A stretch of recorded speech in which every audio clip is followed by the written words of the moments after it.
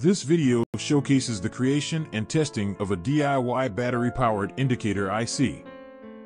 It explains the features, specifications, and setup process of the 10-stage indicator. The video also demonstrates the customization and adjustment of the voltage range for different battery types. This battery level indicator circuit will indicate how much charge is available in the battery.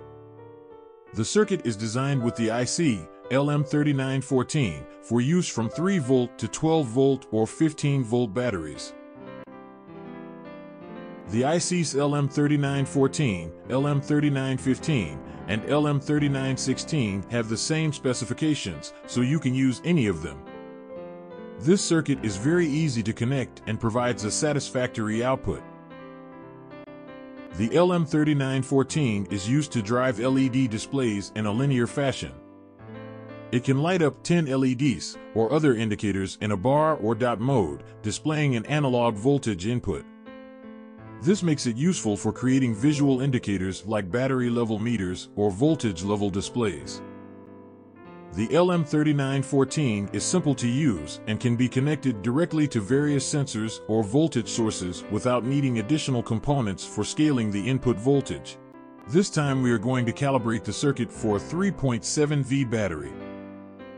Set the supply voltage to the highest value of 4.2 volts. Connect the level indicator circuit to the supply voltage. Follow the video to calibrate the circuit. To calibrate the circuit for a 3.7 volt battery, insert the lithium battery into the battery box and charge it with a regulated power supply.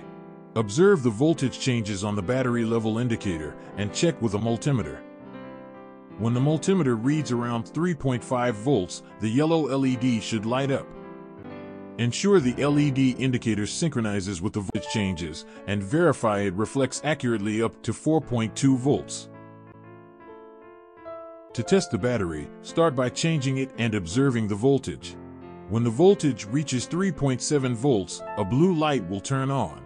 As the battery voltage continues to increase during charging, Two blue lights will light up at 3.8 volts when the voltage reaches 4.14 volts, both green lights will be on.